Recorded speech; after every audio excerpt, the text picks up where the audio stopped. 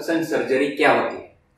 Liposuction चर्बी कम करने के लिए सर्जरी होती है जिसमें आपके त्वचा और मसल के बीच में जो चर्बी होती है जो अतिरिक्त चर्बी होती है एक्स्ट्रा चर्बी होती है उससे हम सक्शन द्वारा कम करते हैं। लाइपोसक्शन कौन करवा सकता है? जो कोई व्यक्ति अपनी एक्स्ट्रा चर्बी अतिरिक्त चर्बी कम करना चाहता है जो बॉडी शेपिंग करवाना चाहता है जो डाइट एक्सरसाइज करने के बाद भी अपने बॉडी शेप और साइज़ से खुश नहीं है वो लाइपोसेशन करवा सकता है। सर्जिकल और नॉन सर्जिकल लाइपोसक्शन में क्या फ़र्क है? नॉन सर्जिकल लाइपोसेशन जो होता है उसमें एक कोई पार्ट का पानी कम करके डिहाइड्रेशन करके थोड़ा फैट सेल्स का साइज़ कम करके ओवरऑल साइज़ कम किया जाता है। ये रिज़ल्ट जो होता है ये कुछ दिनों के लिए रहता है उसके बाद फिर से जैसे थे वैसे ही फैट सेल्स आ जाते हैं। इसमें फैट बॉडी के बाहर नहीं निकाला जाता। जबकि सर्जिकल लाइपोसक्शन में एक्चुअली वहाँ का फैट या चर्बी जो होती है वो सक्शन द्वारा बाहर निकाली जाती है। इसलिए सर्जिकल लाइपोसक्शन रिजल्ट्स ज़्यादा अच्छे होते हैं और परमानेंट रहते हैं। सर्जरी से पहले कोई टेस्ट वगैरह रिकमेंड किए जाते हैं? जी सर्जरी करने के पहले मेडिकल फिटनेस के लिए और एनेस्थेसिया के लिए टेस्ट किए जाते हैं जैसे कि आपका हीमोग्लोबिन आपके लिवर और किडनी के फ़ंक्शंस आपका ईसीजी ओवरऑल फिटनेस देखा जाता है उसके बाद आपको सर्जरी के लिए लिया जाता है।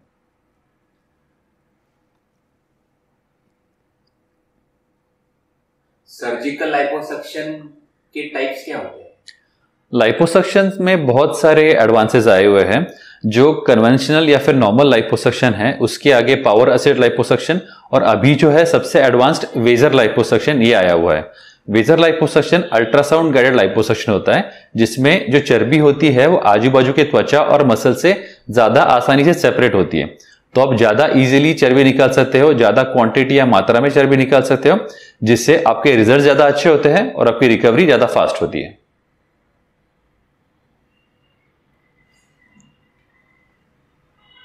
सर्जरी में कितना टाइम लगता है? सर्जरी में आप कौन से पार्ट का लाइपोशन करवाना चाहते हो और कितने सारे पार्ट्स एक साथ करने चाहते हो इस पे टाइम डिसाइड होता है। जैसे आपको सिर्फ़ अगर हाथों का लाइपोसेशन करना है आपका एक से डेढ़ घंटे में हो सकता है। अगर आप फुल बॉडी लाइपोसेशन करवाना चाहते हो तो आपका सात आठ घंटे भी सर्जरी टाइम हो सकता है। सर्जरी में कौन सा एनेस्थीसिया यूज़ होता है? लाइपोसक्शन सर्जरी में लोकल एनेस्थीसिया और जनरल एनेस्थीसिया दोनों इस्तेमाल होते हैं। लोकल एनेस्थीसिया में उतने ही भाग को इंजेक्शन देके सुन किया जाता है और ऑपरेशन किया जाता है। अगर आपको ज़्यादा पार्ट्स के ट्रीटमेंट करवानी है तो फिर जनरल एनेस्थीसिया का इस्तेमाल किया जाता है, जिसमें पेशेंट बेहोश होता है और फिर सर्जरी की जाती है।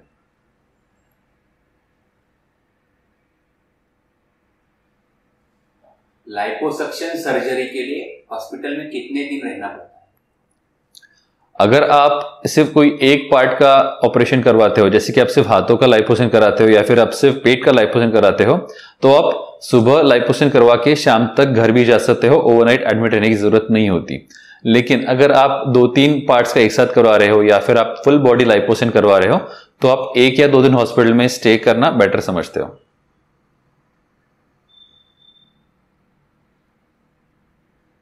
लाइपोसक्शन में कोई कट मार्क्स दिखते हैं क्या पोस्ट सर्जरी लाइपोसक्शन में कोई बड़ा कट नहीं लिया जाता। जो भी सक्शन किया जाता है, उसके लिए एक छोटा सा आधे सेंटीमीटर का पंक्चर लिया जाता है, जिससे सक्शन करके फैट बाहर निकला जाता है। ये कट जो होता है, बहुत ही छोटा सा स्कार रह जाता है इसका। ऑपरेशन होने के बाद, जब आपका हीलिंग ठीक से हो जाता है, हम आपको ऑइंटमेंट्स और क्रीम्स देते हैं, जिससे कि और हल्का हो जाए वो मार्क इसलिए कोई बड़ा मार्क या फिर बड़ा स्कार लाइपोसन के बाद दिखता नहीं है। लाइपोसक्शन सर्जरी का रिकवरी टाइम कितना होता है? लाइपोसक्शन सर्जरी के बाद आपको वॉकिंग या फिर डेली रूटीन एक्टिविटीज़ जल्द से जल्द चालू करना है। जैसे आपका अगर आज लाइपोसन हुआ है, आप आज शाम तक या फिर कल सुबह तक आपको वॉकिंग चालू करना है। आपको रूटीन काम, जैसे कि आप कुकिंग करना चाहते हो ड्राइविंग करना चाहते हो कंप्यूटर पे काम करना चाहते हो, ये सब आप नेक्स्ट डे से कर सकते हो। आप जितने जल्दी एक्टिविटीज़ चालू करोगे, आपका रिकवरी उतना जल्दी होगा, उतना ज़्यादा स्मूथ होगा। लेकिन जो हैवी एक्सरसाइज होते हैं या फिर वेट लिफ्टिंग होता है ये आपको पहले कुछ हफ्तों के लिए नहीं करना। जब आप कंफर्टेबल हो जाते हो उसके बाद आप चालू कर सकते हो। लाइपोसक्शन सर्जरी के बाद वो एक्सेस फैट निकालने के बाद स्किन सैग होती है। लाइपोसक्शन के बाद आपकी स्किन जो होती है थोड़ी टाइट हो जाती है। स्किन आपकी इलास्टिक होती है इसलिए टाइट तो उसको होना ही है।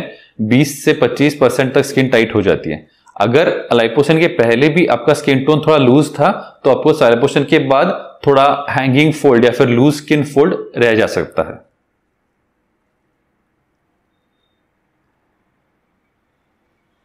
लाइपोसक्शन और टमी टक ये दोनों में क्या डिफरेंस है? लाइपोसक्शन सर्जरी में आपका जो अतिरिक्त चर्बी होता है जो फैट होता है उसे हम सक्शन करके निकाल देते हैं। और जो आपकी स्किन होती है, वो अपने आप जितनी टाइट हो सकती है टाइट हो जाती है। कभी कभी अगर आपका स्किन टोन पहले से लूज है तो वो स्किन का फोल्ड या फिर स्किन की घड़ी जो रहती है, रह जा सकती है। लेकिन टमी टक में क्या होता है, उसमें हम फैट तो कम करते ही है लाइपोसेशन के द्वारा, लेकिन जो आपकी एक्स्ट्रा स्किन होती है, जो आपकी हैंगिंग लूज स्किन होती है, उसे भी हम कट करके निकाल देते हैं। तो दोनों में ये फ़र्क होता है कि टमी टक में कट आता है और स्किन हम एक्चुअली कट करके निकाल देते जहाँ लाइपोसेशन में बड़ा कट या फिर स्किन कटिंग नहीं होता। अगर आपको लाइपोसक्शन के बाद जो हैंगिंग स्किन होती है, वो नहीं चाहिए, उसको भी हटाना है तो टमी टक आपके लिए ज़्यादा अच्छा ऑप्शन है।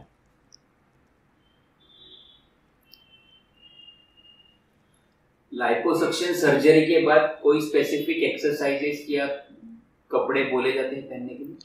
जी लाइपोसक्शन के बाद आप जितना एक्टिव रहते हो, आप जितना वॉकिंग कर सकते हो, जितनी नॉर्मल मूवमेंट्स कर सकते हो, ये सब आपको करनी चाहिए। ये सब आप जितना ज़्यादा करोगे, उतना आपका रिकवरी फास्ट होता है और स्मूथ होता है। दूसरी चीज़ होती है प्रेशर गार्मेंट्स जो कि लाइक्रा नाइलॉन से बनाए जाते हैं। ये गार्मेंट्स आपको छह हफ्तों के लिए पहनने हैं। पहले तीन हफ़्ते आपको ये 24 घंटे पहनने हैं। आप ये गार्मेंट्स पहन के एक्सरसाइज कर सकते हो रूटीन सारे काम कर सकते हो।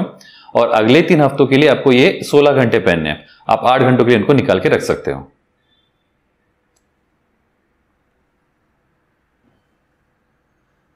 सर्जरी का कॉस्ट कितना होता है? आप लाइपोसक्शन कौन से पार्ट का करवाना चाहते हो और कितने पार्ट से करवाना चाहते हो उस पर आपका कॉस्ट डिपेंड करता है। अगर आप सिर्फ़ आर्म्स का करवाना चाहते हो तो उसका कॉस्ट अलग रहेगा अगर आप फुल बॉडी करवाना चाहते हो तो कॉस्ट अलग जाता है। आप आपके डॉक्टर से एक बार कंसल्ट करवा के एग्जामिन करवाने के बाद जो कॉस्ट है उसके बारे में डिस्कस कर सकते हो।